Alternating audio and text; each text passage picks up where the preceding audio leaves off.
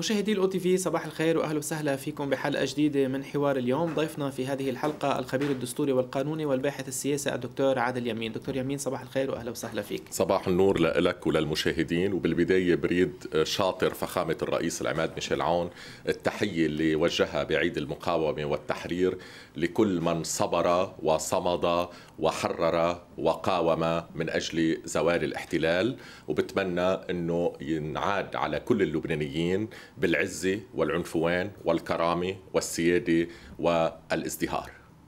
نعم من شاطرك طبعا هذه المعايدة لجميع اللبنانيين خلينا نبلش حديثنا نحن وياك من المحطة المرتقبة اليوم بعد الظهر يلي هي محطة بروتوكولية بس يعني يلي هي جولة رئيس الحكومة المكلف على رؤساء الحكومة السابقين ماذا تعني هذه الجولة؟ هل لها نواحي دستورية وقانونية إلى جانب موقع البروتوكولي؟ لم ينص الدستور ابدا على استشارات آه، يجريها رئيس الحكومة المكلف مع رؤساء الحكومات السابقين.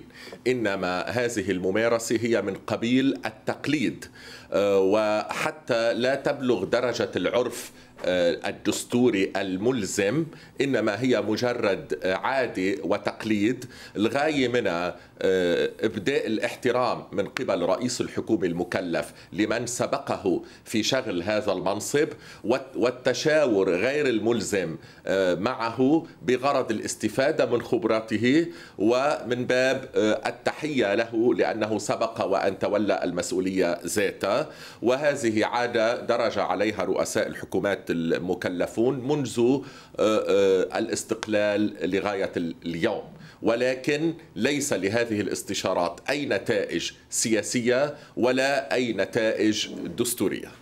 يعني هي الجولة اليوم رح تشمل بس لذكر الجولة ستشمل الساعة 3 بعد الظهر الرئيس سليم الحص 3 وثلث الرئيس نجيب ميقاتي الساعة 4 الرئيس فؤاد السنيورة والساعة 5 إلى ربع الرئيس تمام سلام.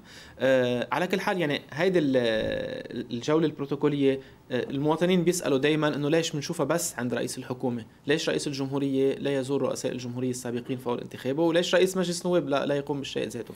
لا أصلا رئيس الجمهورية بروتوكوليا نادرا ما يقوم بزيارات. آه، والاستشارات النيابية التي يجريها رئيس الجمهورية بهدف تسمية رئيس الحكومة المكلف بحسب الدستور هي استشارات نيابية ملزمة آه، وبمعنى تجرى مع النواب طالما أنها نيابية. وعندما يتولى آه، رئيس الجمهورية المسؤولية عادة يتلقى التهاني في القصر ويفترض أن يزوره رؤساء الجمهورية السابقون.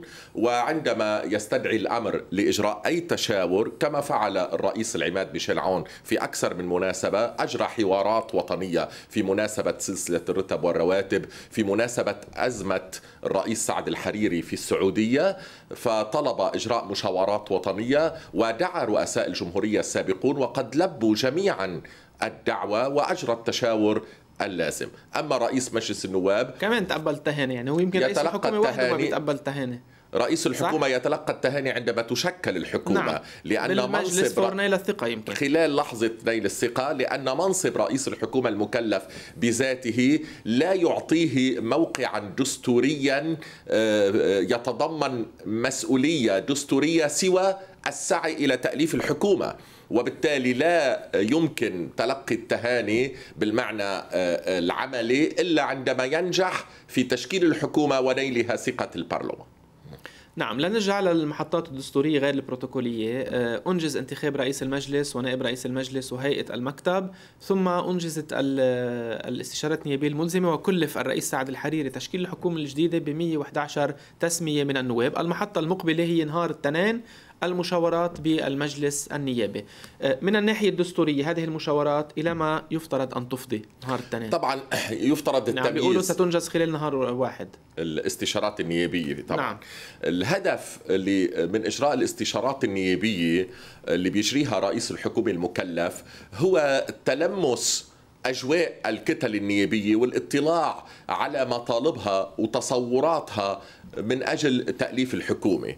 وبالتالي طالما نحن في نظام ديمقراطي برلماني فالحكومة في لبنان عادة في الأنظمة البرلمانية يكتفى بتأمين الأغلبية النيابية العادية.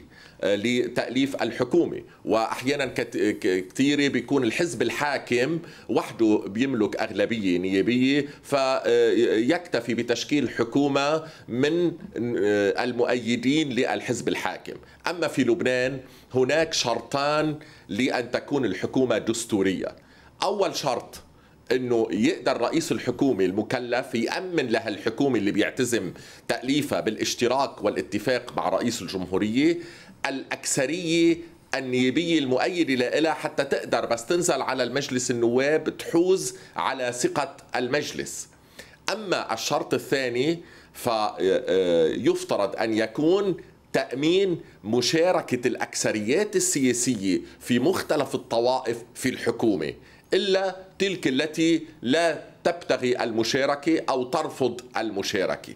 لأنه المادة 95 من الدستور تشترط أن تمثل الطوائف بصورة عادلة في تأليف الوزارة أي الحكومة. من هون لأنه نحن بديمقراطية من جهة برلمانية ولكن من جهة تانية توافقية وتشاركية فيفترض أن يتأمن البعدان في تشكيلة الحكومة. البعد الأول حيازتها الأكثرية البرلمانية ثانيا تكون من الأكثريات السياسية لدى مختلف الطوائف حتى يكون تمثيل الطوائف عادلا. عملا بأحكام المادة 95 من الدستور. ما دمنا لازلنا في مرحلة الطائفية ولم نتجاوز الطائفية بعد. هذان الأمران يحرص رئيس الحكومة على تأمينهما وفي النهاية رئيس الجمهورية بصفته رمز وحدة الدولة وضمانة الجميع قبل أن يوقع ويوافق على أي اقتراح من قبل رئيس الحكومة يتحقق من توافر هذين البعدين. طيب بهذه الحالة يعني وجوب أن تكون الحكومة قادرة أو يعني التشكيل اللي بدها تتقدم تكون قادرة أن تحوز على يعني الأكثرية البرلمانية على ثقة مجلس النواب وتكون أيضا ممثلة للمكونات السياسية اللي بتمثل الطوائف. بهالحالة هاي شو بعود له معنى مبدأ الفصل بين النيابة والوزارة اللي رجعنا هلأ نسمع عنه بكثرة. يعني شو شو له معنى هذا الشيء؟ إذا كان نفس الحزب ونفس الطائفة رح تكون ممثلة بالحكومة وبالمجلس. آه، آه، من يطلب اعتماد وزراء تكنوقراط في الحكومات ما بعد الطائف لا يفقه معنى النظام البرلماني التشاركي التوافقي الذي أرساه اتفاق الطائف والتعديلات الدستورية التي انبثقت منه. وقت لما بتتحدث عن وزراء تكنوقراط بمعنى كأنهم وزراء رئيس الجمهورية أو وزراء رئيس الحكومة أو وزراء مجرد نخبة تقنية فنية تتولى إدارة البلاد لا يفقه تماما من يقول بهذا الكلام جوهر الصيغة التي بسقت من اتفاق الطائف التي تقوم على اعتبار مجلس الوزراء هو من يتولى السلطة التنفيذية وبذات الوقت يفترض أن يتمثل بمجلس الوزراء الطوائف بصورة عادلة كأنه أراد الطائف القول إنه كان في شكوى من احتكار مزعوم لرئاسة الجمهورية للنظام وللسلطة لأنه كان الدستور بالنص من دون الممارسة. يقول أن رئيس الجمهورية يتولى السلطة التنفيذية بمعاونة الوزراء. اجى الطائف معالجة لتلك الشكوى والهواجس. وضع السلطة التنفيذية في مجلس الوزراء على أن مجلس الوزراء يمثل جميع الطوائف بصورة عادلة. وقت لما بدك تمثل الطوائف بصورة عادلة بدك تنظر تنظر لنتائج الانتخابات النيابية. ما فيك تكتفي تقول إنه هيدا شخص كفوء وبروفيسور وعنده خبرة تقنية أو أكاديمية أو إدارية وبنجي بنسلمه الوزارة. لا طالما ارتضيت إنه السلطة التنفيذية تكون مناطة بممثلي الطوائف من يمثل الطوائف؟ من يمثل الطوائف هم الكتل النيابية التي أفرزتها الانتخابات النيابية. وعليه يفترض أن تكون الكتل الوزارية معبرة عن الكتل النيابية على قاعدة أن تتمثل الأكثريات السياسية أن تمثل الأكثريات السياسية في كل طائفة المقاعد الوزارية. إذا كنا عم نحكي بحكومة وفاق وطني أما إذا كنا عم نحكي بحكومة وحدة وطنية وهناك فارق بين الأمرين ساعتها جميع الكتل النيابية يفترض أن تتمثل تقريبا بالحكومة. أما إذا أكثر الفرق بين نعم. الاثنين؟ الفارق مقصود حكومة وفاق وطني نعم. وهيدا فارق البعض ما بينتبه له بالحقيقة ولكن هو فارق مهم. وقت لما عم تتحدث عن حكومة وحدة وطنية معناتها بده يتمثلوا مبدئيا جميع الكتل النيابية بالمجلس بمجلس الوزراء. كأنه مجلس الوزراء ذاك يصبح انعكاس مصغر للبرلمان وكأنه مجلس مصغر للبرلمان وعلى قاعدة النسبية تقريبا آه، مع ترك طبعا حصة لرئيس الجمهورية بحسب التقليد. فيفترض أن تمثل بحسب آه، وبالتناسب الكتل النيابية في مجلس الوزراء. أما وقت لما تتحدث عن حكومة وفاق وطني وهيدا اللي قصده اتفاق الطائف ولم يقصد حكومة وحدة وطنية بصورة دائمة قصد اعتماد حكومات وفاق وطني يعني أن تمثل جميع الطوائف بأكثرياتها السياسية من دون أن تمثل بالضرورة جميع الكتل النيابية نعم. يعني آه، آه، إذا أنت ممثل الأكثرية السياسية عند المسيحيين آه، مش ضروري تمثل كل الكتل المسيحية يعني إذا مثلت التيار الوطني الحر وحزب الطشناق أنت مأمن تمثيل الأكثرية السياسية لدى المسيحيين. إذا مثلت النائب وليد جنبلاط واللقاء الديمقراطي أنت مأمن التمثيل الدرزي. إذا عم نحكي بحكومة وفاق وطني. إذا مثل تيار المستقبل اللي عنده 17 نايب على 27 من النواب السنة أنت مأمن تمثيل الأكثرية السياسية لدى الطائفة السنية. إذا أمنت تمثيل طبعا الثنائية ثنائية حزب الله وأمل آه، مترابطة ومتلاصقة لابد من تمثيلها في الحكومة سواء وفاق وطني أو وحدة وطنية. هون أنت عم بتمثل الأكثريات السياسية بالطوائف من دون أن تمثل بالضرورة جميع ممثلي الطوائف حتى ولو كانوا أقلية سياسية بداخل طوائفهم. أما بحكومة الوحدة الوطنية معناتها بدك تمثل بكل الطوائف كل الكتل تقريبا السياسية آه، سواء كانت تمثل الأكثرية السياسية في الطائفة أو تمثل الأقلية السياسية في الطائفة. هون ساعتها إذا انتقلت على حكومة وحدة وطنية معناتها عند المسيحيين ما فيك تكتفي بتمثيل التيار الوطني الحر والطشناق ولو كانوا بشكلوا سوا الأكثرية السياسية في الطائفة ساعتها بدك تمثل القوات اللبنانية والمردة والكتائب إلا إذا إذا هن قرروا آه، آه، انه يبقوا خارج الحكومة. وقت لما عم تحكي عن حكومة وحدة وطنية ساعتها عند الطائفة السنية ما فيك تكتفي بتمثيل تيار المستقبل ولا بد ازاك من تمثيل منافسي تيار المستقبل على الساحة السنية لأنه بدك تمثل الجميع. وساعتها عند الساحة الدرزيه ما فيك تكتفي بتمثيل النائب وليد جملاط بدك تمثل كمان الحزب الديمقراطي اللبناني وهكذا ودوليك هذا الفارق بين حكومة الوفاق الوطني وحكومة الوحدة الوطنية. ولكن يمكن القول إن حكومة الوفاق الوطني هي الحد الأدنى الواجب دستوريا في لبنان طالما نحن في نظام طائفي ولا يمكن الاكتفاء بأكثرية سياسية لا تؤمن الميثاقيه في تشكيل الحكومة بحيث تتمثل كل الطوائف بأكثرياتها السياسية. والحد الأقصى هو حكومة وحدة وطنية عند الأزمات والتحديات الكبرى تكون حميدة إلا أنها ليست لازمة دستوريا فخامة الرئيس اليوم عم يحكي عن حكومة وحدة وطنية. صحيح. يعني هو عم يطرح الحد الأقصى الذي يمكن الوصول إليه ولكن بحال صار مسار في الحد الأدنى اللي هو حكومه طبعا حكومة يعني الوفاق الوطني. طبعا يعني, يعني في ناس ممكن تبقى برا بحال ما صار اتفاق معهم على التشكيلة. يعني رغبة رئيس أو على التوجه للمرحلة رغبة رئيس الجمهورية أستاذ جاد واضحة بتشكيل حكومة وحدة وطنية وتمثيل الجميع إلا أنه هذه الرغبة يجب أن تقابل بواقعية من قبل القوى الأخرى. إذا كانت الأطراف بدها تتعامل بواقعية واعتدال آه، واتزان وموضوعية بحجمها الانتخابي والشعبي والنيابي والسياسي وتقبل تتمثل على قدر حجمها فأهلا ومرحبا بحكومة الوحدة الوطنية لأنه مثل هذه الحكومة تكون أكثر قدرة على مواجهة التحديات اللي عم بيواجهها لبنان سواء على مستوى العقوبات الأمريكية والخليجية على بعض أطراف الداخل في لبنان أو على مستوى الموضوع الشائك اللي أطلقوا معركته فخامة الرئيس بعشاء الإفطار وهو مكافحة الفساد الفساد أو الموضوع الثاني اللي كان محور كلمته أيضا في عشاء الإفطار وهو الملف الاقتصادي لأنه الناس تئن من أزمة اقتصادية حقيقية وهناك تركة ثقيلة ورثها هذا العهد تقوم على المديونية العالية اللي بدأت تقض مضاجع اللبنانيين بسبب الخدمة خدمة الدين زائد تحديات تأمين الخدمات من كهرباء ومواصلات واتصالات على مختلف الصعد هذه التحديات يستحسن بطبيعة الحال أن تواجه بحكومة وحدة وطنية خصوصا أن هناك ملف رابع شائك وصعب ينتظر هذه الحكومة وهو ملف عودة النازحين السوريين إلى بلادهم.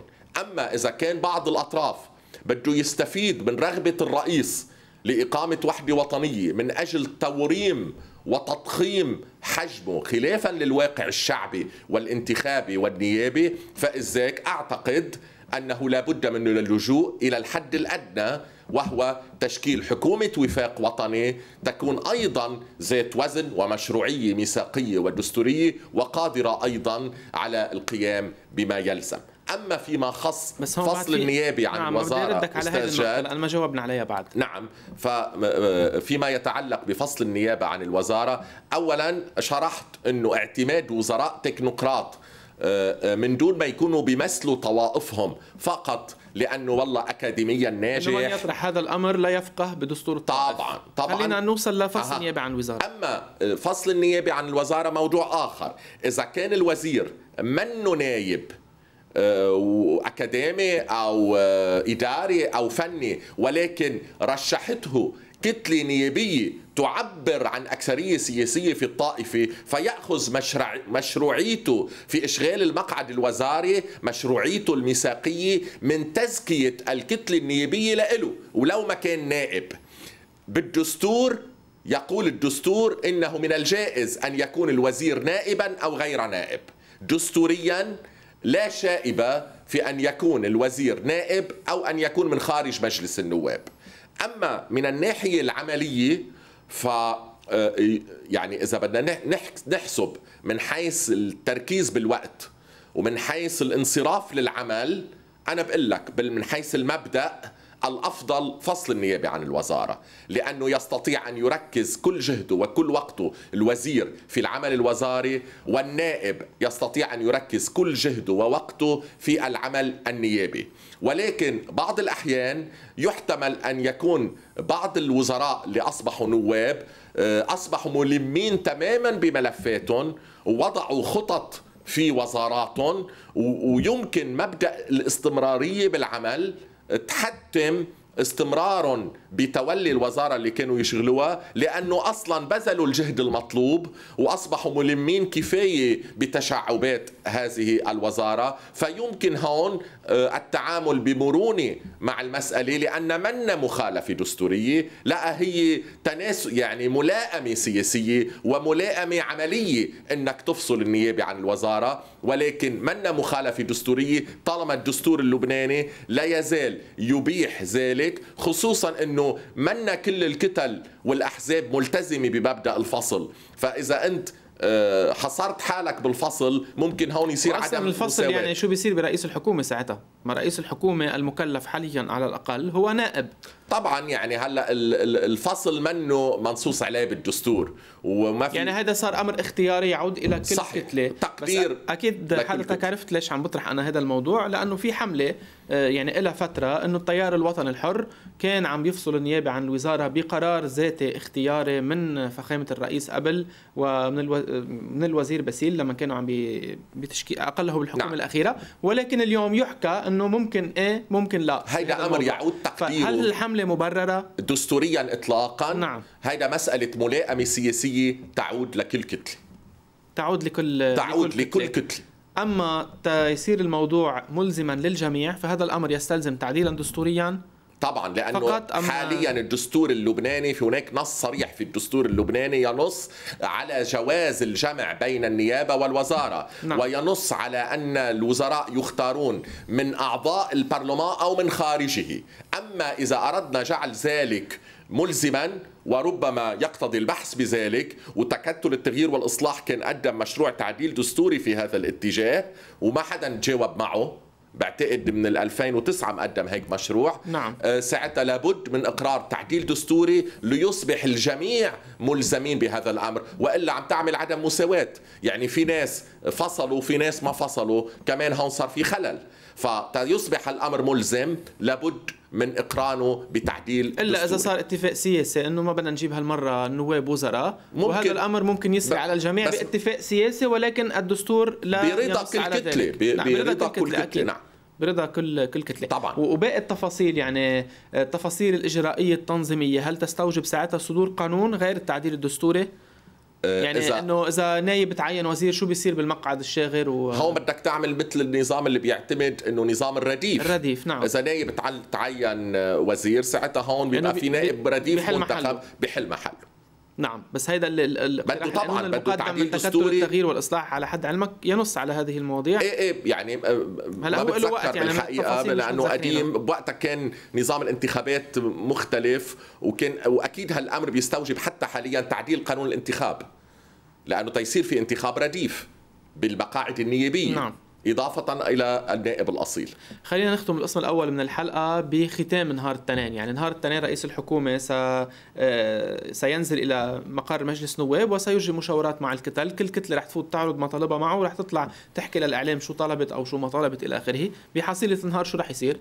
هلأ ما, شيء. ما بيظهر شيء. يعني بيكون استجمع الرئيس الحكومي المكلف آه، م- م- معطيات الكتل ومطالبها آه، من أجل التشكيل آه، سواء على مستوى عدد المقاعد أو على مستوى تصورها لعمل الحكومة ومطالبها في الحقائب أو المقاعد أو بنود البيان الوزاري ويستمر بمشاوراته وهون ما بتتوقف مشاوراته فقط عند النواب يستطيع رئيس الجمهورية آه، أن يشاور قاده الكتل يس- يستطيع أن يستمزج يستمزج آراء من يشاء طبعا الدستور يتحدث عن استشارات آه، نيابية ولكن آه، لا شيء لأن منا استشارات نيابية ملزمة نعم. مثل تسمية رئيس الحكومة الحكومة. المكلف فهي استشارات نيابية بشكل أساسي الكتل النيابيه معنيه فيها ولكن ممكن آه، يحكي مع رؤساء الكتل. أكيد بده يراجع رئيس الجمهورية بكل شاردة وواردة لأنه عملية التأليف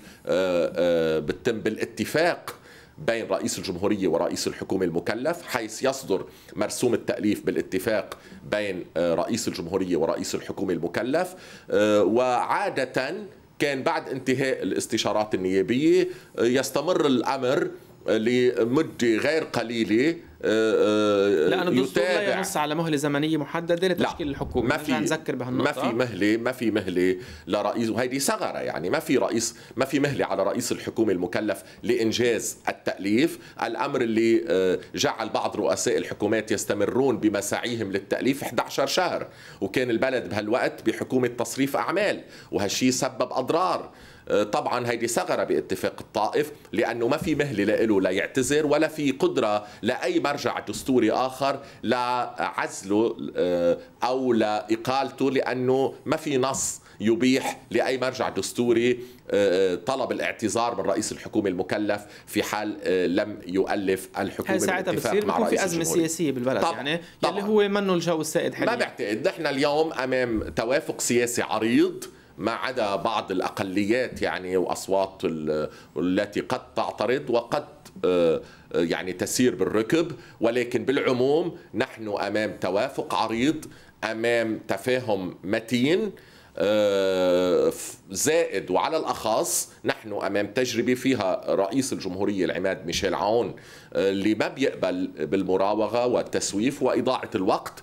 وهو حريص على أنه حكومة العهد الأولى آه، آه، تبدأ بالعمل سريعا من أجل مواجهة التحديات اللي عم تنتظرها اللي حكيتها سواء مكافحة الفساد أو الملف الاقتصادي أو ملف عودة النازحين السوريين إلى بلادهم أو مواجهة التحديات الخارجية. آه، وكل ذلك يستوجب نعم. عدم إضاعة الوقت. رح نحكي نحن وياك أكثر يعني ماذا يعني أو شو رح تفرق حكومة ما يسمى حكومة العهد الأولى عن الحكومة السابقة؟ آه، بعض الأعراف آه، تفسيرها حقيقتها أو يعني إذا موجودة أو غير موجودة أو إذا عم حدا عم يجرب يفرض أعراف جديدة. ورح نحكي أيضا ماذا يعني حكم الأقوياء. يعني هيدي تعبير رجعنا هلأ عم نسمعها نعم. بالمرحلة الأخيرة. مشاهدينا فاصل ونعود إلى حوار اليوم.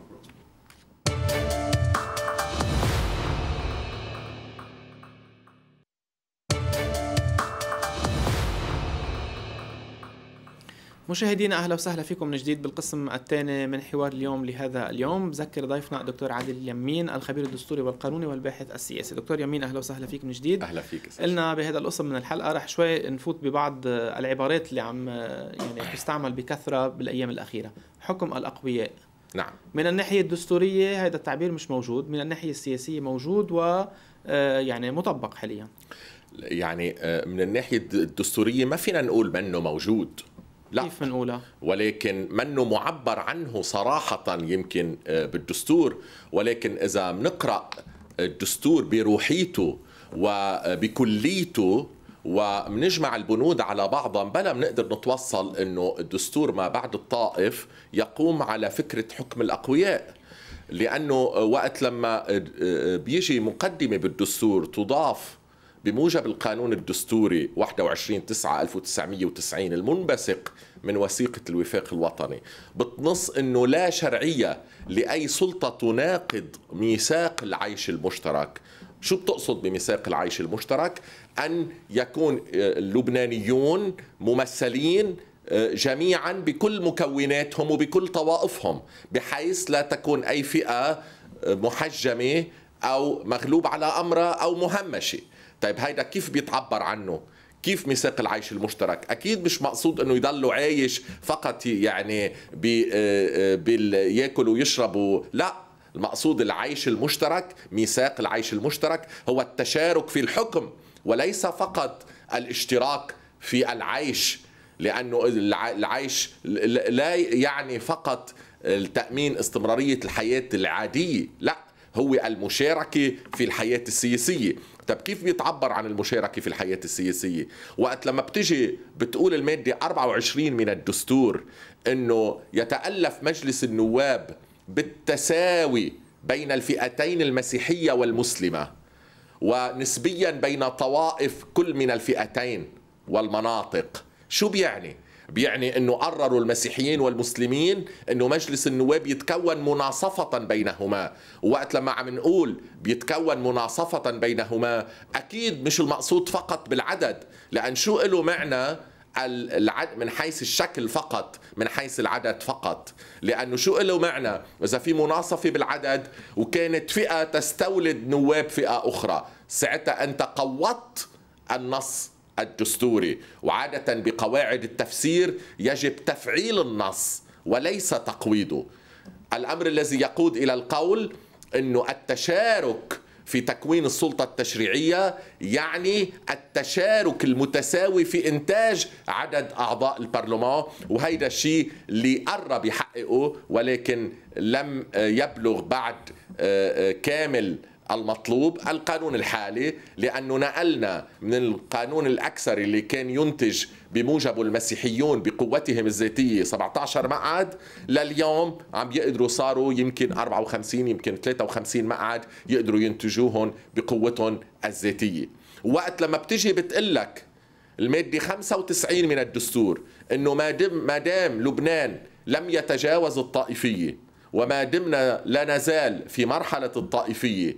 يجب أن تمثل الطوائف في صورة عادلة في تأليف الوزارة. أكيد مش مقصود بالعدالة إنك تشغل المقاعد من قبل ناس بينتموا لطوائف وما بيمثلوا أهلها.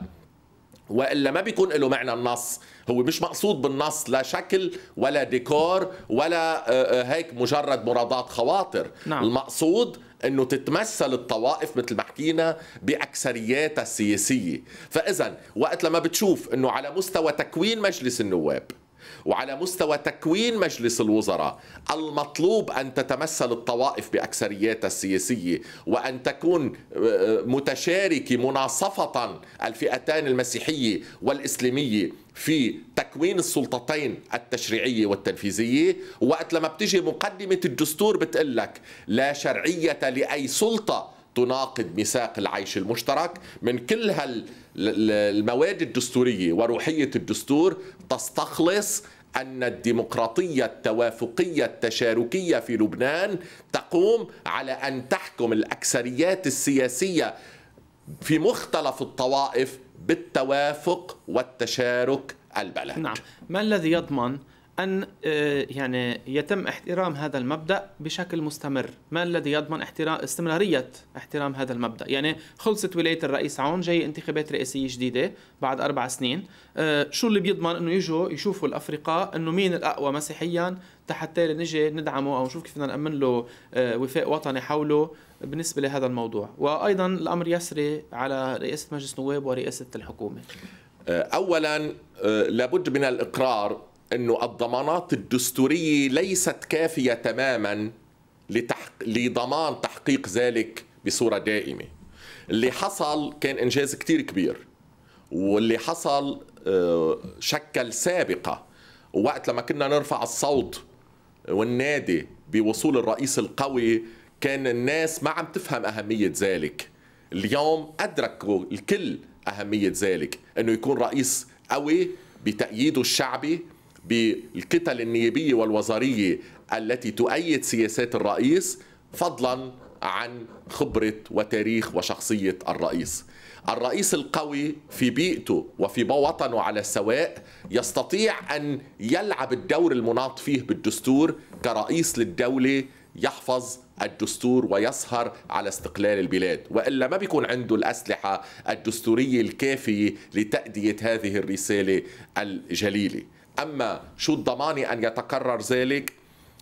طبعا إنجاز قانون الانتخابات على أساس الاقتراع النسبي حقق قدر من الضمانة لأنه أصبح مجلس النواب اليوم آه، ينطوي على تمثيل مسيحي وازن.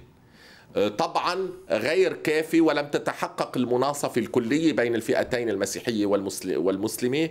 وهذه الضمانة طبعا آه، غير آه، كافية إلا أنه بحكم تكون آه، هذا المجلس وتوزع الكتل فيها إذا بتقرأ هاي الكتل بعتقد اليوم من يستطيع أن يتجاوز كتلة لبنان القوي في انتخابات رئاسة الجمهورية؟ يعني كتلة عندها تقريبا نصف التمثيل المسيحي لوحدها. النيابي.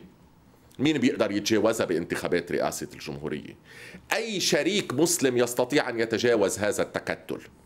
هل يرضى الشركاء المسلمون أنه من يملك الأكثرية المسيحية يهمش في انتخابات رئاسة الجمهورية اللي هي الموقع اللي بخص بالدرجة الأولى المسيحيين وبدرجة ثانية كل اللبنانيين؟ مثل ما أنه ما حدا رضي تجاوز إرادة الطائفة الشيعية والأكثرية السياسية في الطائفة الشيعية في انتخابات رئاسة المجلس وإلا كنا أمام أزمة. صحيح كان الرئيس نبيه بري برئاسة مجلس النواب يملك الأكثرية النيابية ولكن لولا موقف تكتل لبنان القوي لما كان يملك الأكثرية الميثاقية.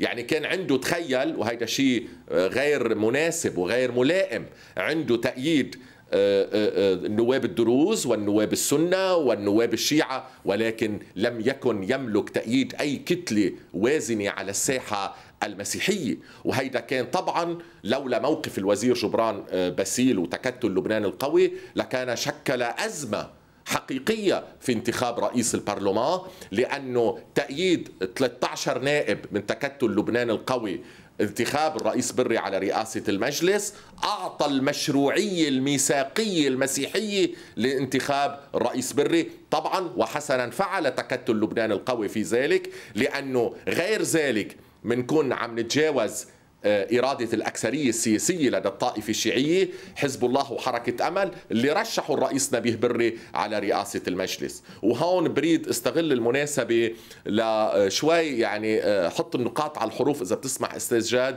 بموقف آه، تكتل لبنان القوي في انتخاب الرئيس بري. يعني كمان كان عنوان لحملة بس نحن أنا اعتبرت إنه قطعت يعني. لا أنا بس ملاحظة بسيطة إنه كان الموقف كتير متوازن وكتير عادل وكتير بمحله. وقت لما من جهة بيأمن 13 صوت آه، للرئيس نبيه بري وربما أكثر في انتخابات رئاسة المجلس حقق آه، كتير من الأهداف الطبيعية لبنان تكتل لبنان القوي في ذلك.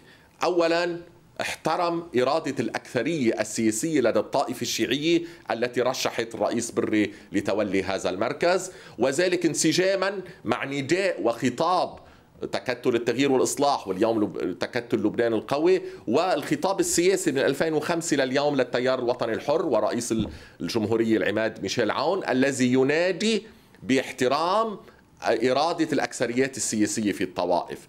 اثنين طبعا وقت لما حزب الله رشح الرئيس نبيه بري فالتيار الوطني الحر مدين لحزب الله في موضوع تأييده لانتخاب الرئيس ميشيل عون لرئاسة الجمهورية.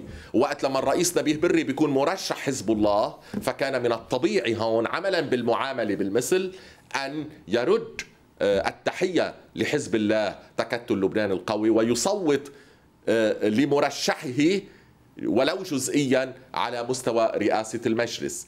ثلاثة وقت لما الرئيس نبيه بري ببادر عندما تنتهي الانتخابات النيابية إلى مد يده لتيار الوطن الحر ولرئيس الجمهورية ويطلب تزكية أو دعم المرشح الذي يختاره رئيس الجمهورية أو تكتل لبنان القوي بصفته التكتل الأكبر على الساحة الوطنية والمسيحية. فذلك يعني أن الرئيس نبيه بري تبنى منطق تيار الوطني الحر في أن تمثل الطوائف بالأقوياء. رابعا وقت لما الرئيس بري بيريد يفتح صفحة جديدة وقت لما الكل حريص على نجاح العهد أنت بدك تتعاون مع الرئيس نبيه بري لنجاح العهد فكان لابد لتكتل لبنان القوي أن آه، آه، يتقدم نحو منتصف الطريق باتجاه الرئيس نبيه بري وطي آه، صفحة التشنجات من أجل التعاون لما فيه خير العهد والبلاد. هؤلاء الاسباب الأربعة اللي دفعوا تكتل لبنان القوي إلى دعم الرئيس نبيه بري في انتخابات رئاسة المجلس ولو دعم منه كامل. أما الأسباب اللي آه، دفعت تكتل لحجب جزء من أصواته. طبعا هي متعلقة آه، بما حصل في على مستوى انتخابات رئاسة الجمهورية وعلى قاعدة طي الصفحة. يعني وقت لما هاي المناسبة آه، بتكون فرصة لبعض نواب تكتل لبنان القوي يشعروا إنه آه، آه، يعني آه، عملوا معاملة متساوية مثل ما حصل من قبل كتلة الرئيس نبيه بري بانتخابات رئاسة الجمهورية وهيدا الرئيس بري كان متوقعه لبل كان متوقع يمكن حجب أصوات أكثر فهيدا عمل ديمقراطي عمل يعني معاملة ندية قبلها الرئيس بري وبالتالي هالاصوات اللي انحجبت عن الرئيس بري كانت كفيلة بطي صفحة الالتباس أو الخلاف المحدود اللي حصل بانتخابات هلأ الرئاسة. مبدأ طي الصفحات كله ممكن أمر واحد يطيح فيه بالأيام اللي جاية إلا إذا في تفاهم سياسي مسبق. تشكيل الحكومة وتحديدا الموقف من موضوع وزارة المالية. هل وزارة المالية عرفا ستبقى للطائفة الشيعية وسيسمى الوزير الثنائي الشيعي أم لا؟ هيدا هودي كلهم اللي حكيناهم منيح بس في هيدي النقطة هلأ هي اللي بتعمل يعني شو بيقولوا عند الامتحان يكرم المرء. اذا بنرجع للدستور نعم. ولوثيقة الوفاق الوطني وللممارسة من آه، التسعين لليوم ليس هناك أي قاعدة توجب أن تكون وزارة المال من حصة الطائفة الشيعية الكريمة اللي بنقدرها واللي بنحبها واللي بنحييها آه، إذا بنرجع للدستور ما في تخصيص أي وزارة لأي طائفة اطلاقا إذا بنرجع لاتفاق الطائف النص الوثيقة كذلك. بس محاضر الوثيقة تقول غير ذلك على ذمة الرئيس بري والرئيس الحسيني وبتعرف يعني. المحاضر ما فينا نعرف. من الرئيس الحسيني شو بيقول. ما فينا نعرف المحاضر شو بتنص قبل ما نطلع عليها. بس المحاضر معه. المحاضر صحيح مع الرئيس بنوجه له تحية وبنقدره بس في كمان نواب كانوا بالطائف قالوا غير هيك قالوا ما صار حديث عن مش عم شكك بما قاله لأنه حتى الرئيس الحسيني بيعتقد بيقول إنه صار في نوع من تفاهمات شفهية. ما بيعتقد نعم. قال إنه في خ... آه، آه، نص مكتوب بالمحاضر حول هالموضوع وبيعتقد قال إنه صار تداولات وصار في ربما بعض التفاهمات يمكن مش الكل كانوا آه، عارفين فيها أو راضيين فيها من النواب اللي كانوا موجودين ما بعرف.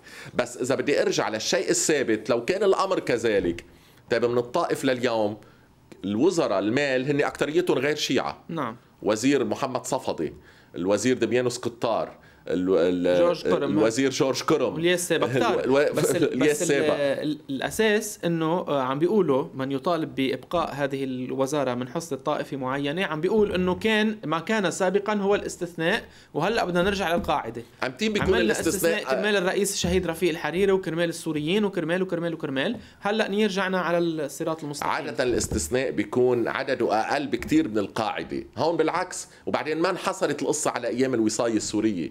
ما بعد ال 2005 بس حكمت 14 آذار كمان. آه، آه، كان آه، وزراء مال موارنة وسن جهاد أزعور وكان من تشكيلات مختلفة. لامبارح لا تولى الوزير علي حسن خليل وزارة المال إلا أنه ذلك لا يعني إنه وزارة المال ممنوعة لا سمح الله على الطائفة الشيعية يعني ما, ما في شيء بيمنع بكرة بهاي الحكومة الجديدة تكون من حصة الطائفة الشيعية الكريمة وربما من نصيب الوزير علي حسن خليل. ولكن ليس على قاعدة إنه هيدا هذا اللي عم تتفضل فيه إذا اليوم في 27 أو 26 نايب من أصل 27 من الطائفة الشيعية عم بيقولوا نحن بدنا وزارة المال. سياسيا فيك ترد لهم هالطلب؟ لا ممكن. سياسيا. لا آه، آه، ممكن أستاذ جاد التجاوب مع هذا الطلب. ما في شيء بيمنع. بس بصفته باعتباره إنه آه، طلب املته التوازنات البرلمانية وليس الحالية. وليس عرف. باعتباره عرف ملزم دائم إنه هيدا هيدا الحقيبة هي للطائفة الشيعية. لا مرات كثير عند تشكيل الحكومة. طيب ما مرة التيار الوطني الحر قال أنا بدي وزارة الطاقة. وأصر على موقفه وأخذها. مش لأن من حصة الطائفة المسيحية أعطيت له لأن التوازنات السياسية بوقتها آه، قدر آه، أمن آه، ضغط وأكترية وقدر أمن دعم له من كتل أخرى وحصل. وبعدين مين قال اليوم أنه رئيس الجمهورية ما بده أنه تكون وزارة المال أخذ موقف رافض أنه تكون من حصة الطائفة الشيعية؟ ما في شيء بيمنع.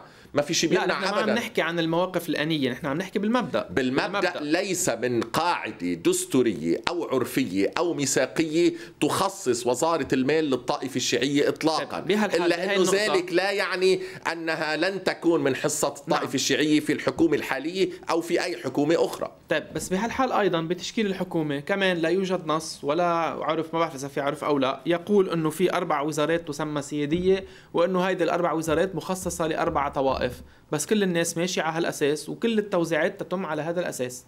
إيه صحيح. بس إنه كمان هيدا تواز توازنات سياسية. لا بالطاق أصلا ما في شيء تمييز. ما نحل عرف يعني بطلت ما في توازنات بس هيدا بس ما, ما يعني آه، منا مشكلة لأنه آه، طبيعة الوزارات عم تتغير. يعني كل ما وزارة بتستلمها وزارة جبران باسيل بتصير سيادية. يعني وزارة الاتصالات ما كانوا يعتبروها سيادية. هلأ عشوائي رح يبلشوا يعتبروها سيادية. وزارة الطاقة ما كانوا يعتبروها سيادية. هلأ عشوائي رح يبلشوا يعتبروها سيادية. بعدين ما في الوزارات بالاسم يعني عفوا في بعض الوزارات المصنفة غير سيادية هي أهم بكثير من السيادية بالصلاحيات وبالدور. ما بدي أدخل بال بال بالتسميات بس هذا أمر ما حدا عامل عليه مشكل. يعني ما حدا عامل مش بالعكس الوزير جبران باسيل اقترح إنه الوزارات السيادية الأربعة هالمرة تكون للأقليات بخطاب أخير آه، نعم. آه، قالوا إنه خلت نجي هالمرة نعملها للأقليات وعلى قاعدة المداورة. ما قال إنه هيدي بدها تتخصص لطوائف معينة؟ وحتى هاو الطوائف السياديه عم تتوزع على الطوائف الأربعة الكبرى بس بشكل غير ثابت وغير حصري. مش إنه في وزارة لطائفة المارونيه لا مرة عم تكون الموارنة معهم المالية مرة عم بيكون معهم الخارجية وبالتالي عم بيصير تبديل بين الطوائف. ما في حصر اطلاقا بالطاوة بالطائف. في العرف يقوم على المواقع الرئاسية. رئاسة الجمهورية للماروني رئاسة مجلس النواب شيعي نائب رئيس مجلس النواب أرثوذكسي رئيس الحكومة سني نائب رئيس مجلس الوزراء بس هودي مين ثبتهم العرف المستمر من الاستقلال. شو اللي بيمنع بدي اوصلك لمحل إنه اليوم إذا في فئة عم بتقول إنه هناك عرف يتعلق بوزارة المالية. ما في عرف ما صارت الممارسة إذا البقوي رفضوا شو بيمنع إنه تكون ردة الفعل؟ عم نحكي نحن بالمبدأ أكيد ما عم نحكي عن اليوم. عم نحكي أي... يوما ما بسنة 2050 بدنا نميز. ممكن يجوا يقولوا مثلا إنه رئاسه الجمهورية مبطلت الطائفة المارونية وما في شيء بيثبت. جيب لهم إثبات. رح أعطيك الإثبات. في فرق بين إنه فريق يطلق القول إنه هناك عرف وبين إنه يكون في عرف حقيقي. العرف له صفتين. اولا بده استمرار وتكرار ودوام القاعدة حتى تصبح عرف يجب أن تكون ثابتة ومستمرة ودائمة. الشرط الثاني أن يكون في ذهن المعنيين أن هذه القاعدة ملزمة. هن وعم بيمارسوا هالقاعدة وكل الناس هن وعم بيمارسوها. بده يكون في ذهنهم إنه هن يمارسون قاعدة ملزمة. هالشرطين متوفرين فيما متوفرين فيما خص المواقع الرئاسية. هناك من الاستقلال لليوم موزعة على الشكل التالي اللي حكينا عنه الشكل السابق المواقع الرئاسية بين الطوائف. نعم. أما بموضوع وزارة المال فالقاعدة ليس هناك لا من استمرار. ولا من ثبات ولا من دوام. وقت لما كانت تعطى للطائفة الشيعية ما كان في ذهن المعنيين ابدا إنه هالأمر ملزم. كان جزء من من توزيع للتشكيلة. مرة بترسل للطائفه الشيعية الكريمة مرة للطائفة السنية الكريمة مرة للموارنة إلى آخره. فاذا إذا حدا اجى انتخب رئيس جمهورية غير ماروني هذا العرف ولو منه موجود بالنص الدستوري هو ملزم لأنه العرف الدستوري يوازي النص وبالتالي يستطيع المتضرر يستطيع ثلث مجلس النواب أن آه، يتقدم بمراجعة ضد هذا الانتخاب طعنا بهذا الانتخاب لدى المجلس الدستوري. فيبطل المجلس الدستوري الانتخاب في حال تم انتخاب رئيس جمهورية غير ماروني. آه لأن هذا هذا العرف ملزم. طبعا هذا العرف ملزم. ولو ما كان هناك نص مكتوب وإلا شو لها قيمه الاعراف هي شو هي مجرد في فرق بين العرف والتقليد. العرف هو ملزم تماما دستوريا. وإذا تعين رئيس حكومه غير سني وتولى وتولى رئاسة الحكومة هذه الحكومة تكون فاقدة للميثاقية والشرعية وتتناقض مع مقدمة الدستور التي تنص على أن لا شرعية لأي سلطة تناقض مقتضيات العيش الميثاق العيش المشترك. ميثاق هذا هو ميثاق العيش المشترك. ما هيدا من الاستقلال. هالمواقع الرئاسية موزعة؟ ميثاقيا موزعة هيك. أما الوزارات لا. ما لا في سابقة لا في تكرار لا في انتظام لا في دوام ولا في ذهن المعنيين أن ذلك ملزما. أما إذا كانت الطائفة الشيعية الكريمة ترغب أن يكون لها توقيع رابع ثابت على المراسيم علما إنه مش دائما بيوقع وزير المال على المرسوم إلا إذا كان إذا كان في نفقة مالية. فهذا الأمر يستحق البحث. ونحن بنريد طبعا يعني كل الطوائف تكون مرتاحة. بس هون صار بدها تدقيق العملية. يعني صار بدها بحث بهي النقطة وبغيرها لا لأنه تحديدا بهالنقطه أستاذ جاد المرسوم بيمضيه رئيس الجمهورية ورئيس الحكومة والوزير المختص ايا يكن. فبروحية الطائف امنت المشاركه الاسلاميه المسيحيه من خلال التوقيعين الثابتين رئيس الجمهورية الماروني ورئيس الحكومة المسلم رئيس الجمهورية المسيحي الماروني ورئيس الحكومة المسلم السني. أما إذا فرضت توقيع ثالث مسلم ثابت على المراسيم فإذاك وعملا بمبدأ المناصفة بين الفئتين المسيحية والمسلمة في تكوين السلطة وعمل السلطة في لبنان. ساعتها بدك توقيع مسيحي رابع على فليكن على مثلا ساعتها استحداث صلاحية لنائب رئيس مثلا. ويخليه يوقع كل شيء. مثلا ساعتها صار بدك توقيع مسيحي ثاني وتوقيع رئاسي رابع إذا جاز التعبير مثلا يكون لنائب رئيس الحكومة تيكون في توقيعين مسيحيين ثابتين وتوقيعين مسلمين ثابتين عملا بمبدأ المناصفة. على المراسيم زائد توقيع الوزراء المختصين. فهيدي ممكن تنبحث ولكن حد اليوم منا موجودة وما فيك تاخذها بس جزئيا. خصوصا إنه يعني عند السلطة التشريعية حيث الرئاسة معقودة للطائفة الشيعية الكريمة. لا يشارك موقع مسيحي في إدارة السلطة التشريعية إلا من آه، عند غياب الرئيس على مستوى الرئاسة. ما عم بحكي هيئة مكتب المجلس اللي بالعرف مشك متنوعة بس عم بحكي على مستوى موقع الرئاسي بما تعنيه من حق تحديد آه، جلسات مجلس النواب توقيع موازنة المجلس تعيين موظفي المجلس. نعم. هون بس عند السلطة التشريعية هناك آه، إذا بدك موقع يعني مخصص طبعا للطائفة الشيعية الكريمة من دون مشاركة من الطائفة المسيحية. بس اليوم يعني بهذا الموضوع بموضوع وزارة المالية تحديدا اللي يتوقع إنه يرجع ينبحث فيه بالأسبوع اللي القادم. آه، يعني هناك في حلين مطروحين. يا أما أن تسلم أو أن تبقى وزارة المالية مع الثنائي الشيعي آه، ولكن لأسباب سياسية وليس لأسباب عرفية وأن يقال أنه هذا التوزيع السياسي أفضى إلى طبعا. هذا الأمر ونحن مش ملتزمين أنه هذا عرف. يا أما الحل الثاني إنه بده يصير مشكل وبده يفتح لا ما بيصير مشكل. على لا ما بيصير وبحث بأمور أكبر من هيك. ما راح يكون يعني أكيد. الحل الوحيد اليوم المتاح يكون أكيد استسجاد أو مداورة أو اللي حكينا عنه أو بحث بأمور دستورية أكبر. سواء آه، أعطيت وزارة المال لغير الطائفة الشيعية سيكون ذلك برضا الرئيس نبيه بري مثل ما سبق ورضي نعم كثير مرات. ما عم بقول المداورة أنا يعني طبعا برضا الرئيس رح يكون أكيد. طبعا برضا الرئيس نبيه بري وحزب الله. وفي حال أعطيت حقيبة المال للطائفة الشيعية الكريمة سيكون ذلك برضا آه، رئيس الجمهورية ورضا رئيس الحكومة. وفي مطلق الأحوال لن يكون الأمر مسار أزمة إطلاقا. رح يتفقوا إما تاخذها الطائفة الشيعية الكريمة هالمرة ولكن طبعا مش لأنه عرف ملزم لأنه التوازنات التشكيل آه، اوجبت ذلك. وعلى كل حال إنه مين قال انه إنه هيدا الأمر آه، مشكله أو قال إنه هيدا الأمر أزمة أو في فريق ما بيرضى فيه؟ ما حدا قال. بس بس منه هالأمر موجب دستوري صحيح.